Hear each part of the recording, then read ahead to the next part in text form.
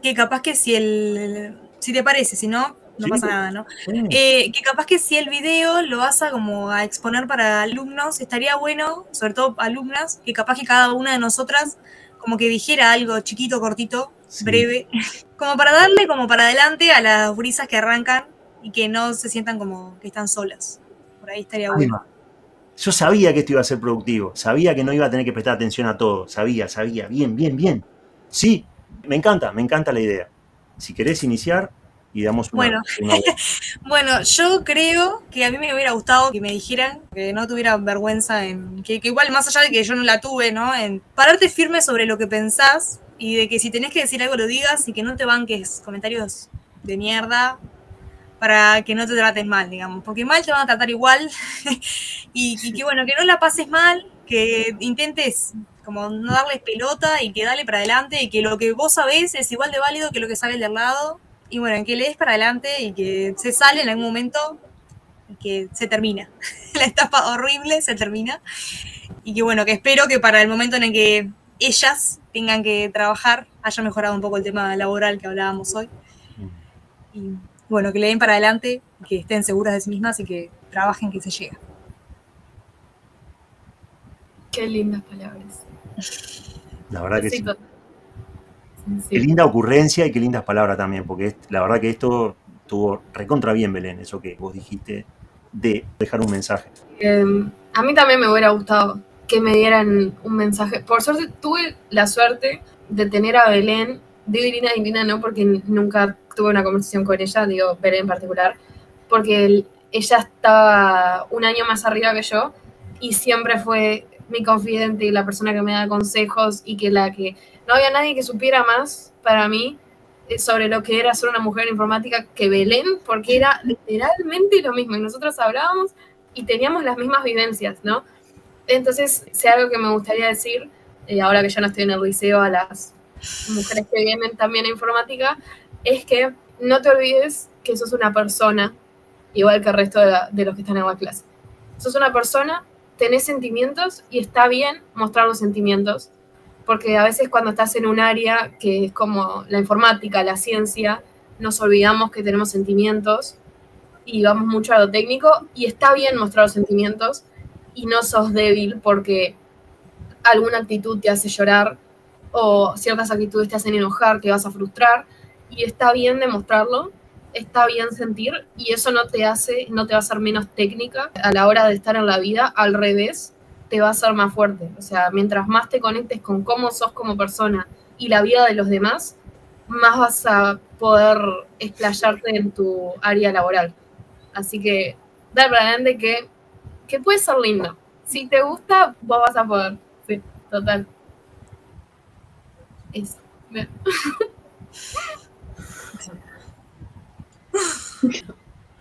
Y yo, agregando, para no repetir, porque es genial lo que han dicho las chicas, que no se desmotiven por nada o que vayan, que se pongan felices y contentos cada que ves que tengan un error, cada vez que hablando así que la caguen. Busquen cagarla, porque es la mejor manera de aprender, es la realidad. Entonces, más allá de todo lo que dijeron las chicas, cuando les toque, que no les salga, que piensen que es solamente tiempo. Es solamente tiempo. Hay que dedicarle más tiempo. Hay que volver a intentar y está genial equivocarte o romper algo, porque de eso, ustedes saben, se aprende tanto. Se aprende más que mucha teoría, la práctica es todo. O sea, que nada las tire abajo para no querer meter mano. Que no haya nada que las frene, que no se sientan capaces, que digan yo no puedo. Mentira, todo el mundo puede. Eh, todo el mundo puede, es tiempo, es tiempo, dedicación entonces, que no sea ese un condicionante, más allá de todo lo otro, que busquen eso, los errores y las macanas para poder aprender y seguir y que la lleven, porque se intenta. Intentando, intentando y metiéndole y metiéndole, se llega. Y las chicas lo saben. y es así. Qué genial. Gracias por haberme enseñado todo esto. A mí, honestamente, lo digo con, total honestidad, me, aportó un montón.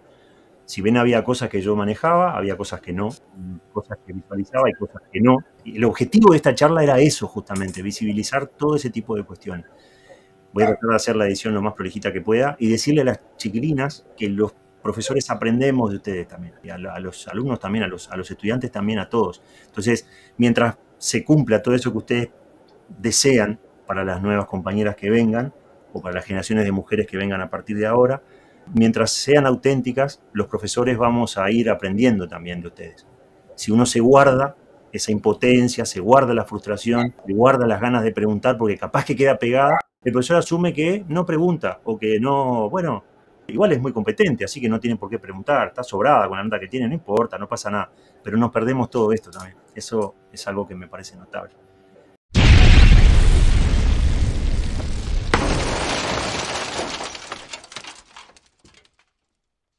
Alguien con poder y con responsabilidad debería de una buena vez correr el velo para que se sepa, para que se vea la verdad.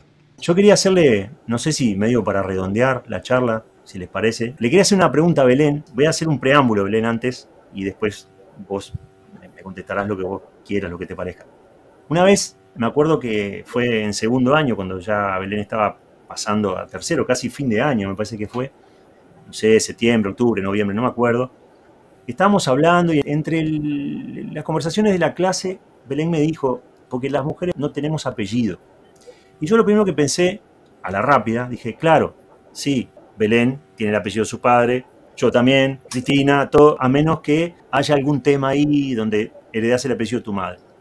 Entonces le contesté eso. Me dijo, sí, pero tampoco. Ese es el apellido del padre o es el del abuelo, cosas. Yo, sí, claro, sí. Pero en un momento dado, cuando le dije sí, claro, sí, dije, se me pasó una película para atrás, como a 45 mil kilómetros por hora, hasta llegar al punto en donde me di cuenta de lo que me querías decir vos, Belén. Y me gustaría que lo explicaras vos, porque es verdad eso que las mujeres no tienen apellido. Yo lo, aprendí eso de vos también y como ves no me olvidé nunca ni me voy a olvidar. Si lo podés explicar como lo hiciste vos, me encantaría.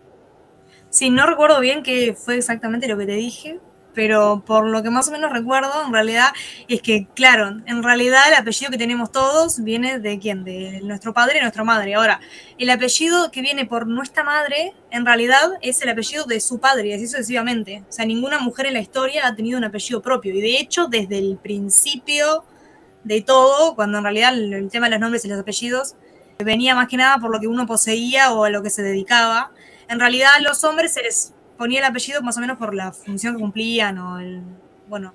La cercanía con el lugar geográfico, del río. Claro, claro. Y en realidad a la mujer se le ponía el, como el oficio del padre o el nombre del padre y la casa, porque en realidad era como la mujer de, de, la casa y propiedad de este hombre, ¿no? Que era el padre, que bueno, ese apellido después cambiaba y en vez de ser el nombre del padre, pasaba a ser al del marido cuando se casara. Pero en realidad siempre era como propiedad de alguien, digamos. Mirta Legrand de Tiner, por ejemplo. claro. claro. Sí, sí. Pero eso es más fácil de visualizar, pero vos llegaste a un razonamiento mucho más profundo. Yo jamás me había preguntado ni planteado eso. Para mí era el apellido del padre, el apellido de la madre. Ah, creo que fue porque alguien comentó que se estaba debatiendo sobre elegir el apellido de la madre o del padre. El, el, orden de los apellidos, sí. Eso que es el del padre por defecto, pero que ahora creo que se puede elegir, ¿verdad? ¿O no? Sí, creo que sí. Ahí va. Que se puede elegir entre la pareja, pueden ponerse de acuerdo de si él es Martínez y ella es Pérez, que el pibe sea Pérez Martínez y no Martínez Pérez o algo así. Creo que fue por ahí. Pero la verdad que me dejaste pensando y estoy seguro, estoy absolutamente convencido de que el 99% de la gente no se hizo esa pregunta y no sabe. O por lo menos de los varones, no sé las mujeres.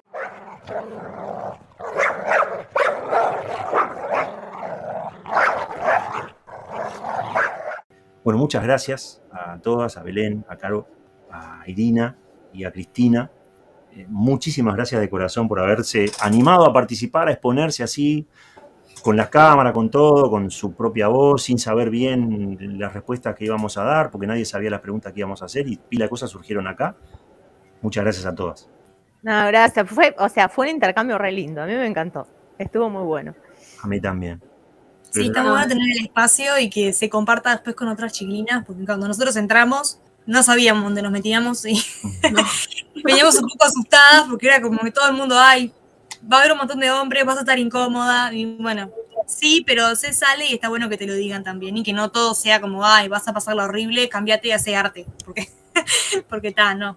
Hay que hacer lo que uno le gusta y no voy a entrar con miedo a, porque al final somos todos personas, todos teníamos la misma edad y bueno, es una lástima que se pierdan oportunidades por eso. Es también un lindo mensaje para otras minorías. Por ejemplo, yo no sé cómo se puede sentir un pibe o una piba que es gay en un salón de clases cuando los chistes van por ese lado heterosexual, o un pibe o una piba que tenga ciertas dificultades también de habilidad social, por ejemplo. Yo no sé.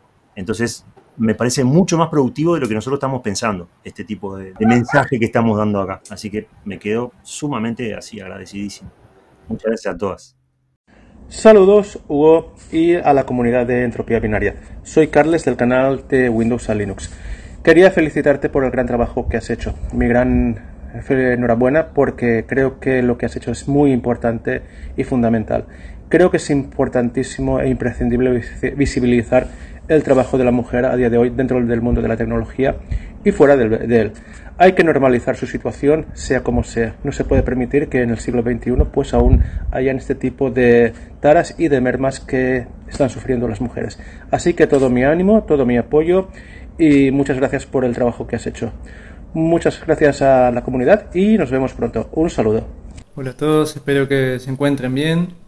Primero que nada, agradecer a a Hugo, Entropía, a las chicas que participaron de, estos videos, de esta conversación, que nos dejaron participar a nosotros también como oyentes, como espectadores. Y bueno, agradecer justamente porque con esta propuesta han atravesado varias barreras, barreras de género, barreras generacionales, y también ofreciéndonos la posibilidad de conocer experiencias directas que al final es lo más importante porque estamos hablando de, seres humanos, como bien dijeron, somos todos seres humanos.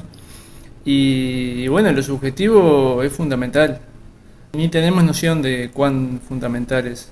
Y bueno, realmente haciendo memoria de, de cuando cursé liceo un poco facultad también. Realmente, bueno, me imagino que para Hugo también tiene un valor inmenso esto, esta conversación, porque muchas cosas de las que mencionaron realmente pasan desapercibidas desde la individualidad y el punto de vista propio. A veces es difícil notarlas. Entonces me parece fantástico que exista este espacio, que se genere ese debate, esa visualización también porque bueno, es la forma que tenemos de abrir nuestra mente y poder colocarnos en el lugar del otro, es conociendo. Si nos mantenemos pensando que el otro es alguien ajeno a nosotros, eso nunca va a pasar. Entonces, me encantó toda la saga. Ojalá que salga el podcast también en Spotify, ya la tiro. La verdad que está notable, es algo distinto, pero que está buenísimo. Y bueno, un saludo a, a todos y nos estamos viendo. Vamos arriba. Buenas, primero que nada, felicitar al espacio Entropía por los excelentes videos que suben. La verdad que sumamente interesantes. Interesantes sobre todo los que estaban estudiantes, colegas, hablando del tema de la desigualdad de género, un tema no menor para esta época, que a pesar de todas las luchas que se están haciendo, siguen existiendo, sigue siendo algo como normal, que no debería serlo, es muy penoso la situación que se hacen denuncias en las diferentes instituciones y es, no digas nada, normalizamos el esto es así, está mal decir esto es así, está muy mal eso realmente. Bueno, ojalá que de a poquito varios y varias docentes sigan sumándose a lo que en Hugo Napoli está trabajando y que bueno, que haya más respeto, más igualdad y esto, una vez más, lograr que las estudiantes no dejen sus carreras, como el caso que contaba una de las chicas allí, a raíz de los comentarios tan espantosos que puede llegar a recibir una mujer. Bueno, sigan así y estoy a las órdenes para armar equipos y armar talleres, para salir adelante y lograr poner un granito más de arena a toda la porquería de la sociedad en la que estamos viviendo, en la cual cada vez más me parece que es la brecha se amplía a la desigualdad y no se está cerrando esa brecha. Bueno, yo ha querido y a todos los que están viendo, quería agradecerte por este espacio, el video dividido en cuatro partes, la verdad que me, pareció genial. Eh, es lamentable a veces eh, se ve más el envase, vamos a decirlo así, aunque suene un poco brusco, se ve más el envase que la persona que hay detrás.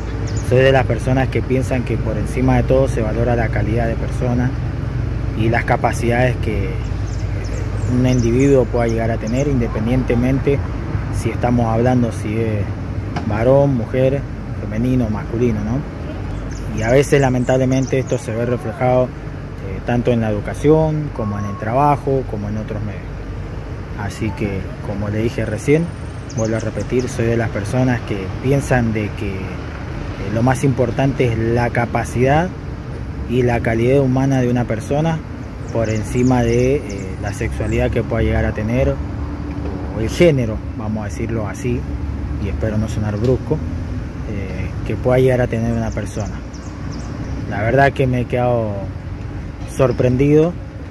La verdad que me ha gustado mucho el video. Y no digo que me ha gustado mucho por lo que les ha pasado a estas alumnas, sino por porque nos invita por sobre todo las cosas a que reflexionemos. Así que de mi parte un abrazo enorme, sigan adelante y por sobre todas las cosas los felicito a todos por este arduo trabajo y este mensaje de, alerta, por así decirlo, y de que abramos no solo los ojos, sino también la mente. Un abrazo enorme, cuídense, desde aquí, Gaucho Linuxero. Bye. Fuimos los rebeldes que no acatamos la bajada de línea que pretendían imponer. Esta no es una cuestión semántica, no es un tema de interpretación. Yo tengo mi buena cantidad de defectos, soy pasional, pero en mi jardín Hace décadas que no cultivo el odio.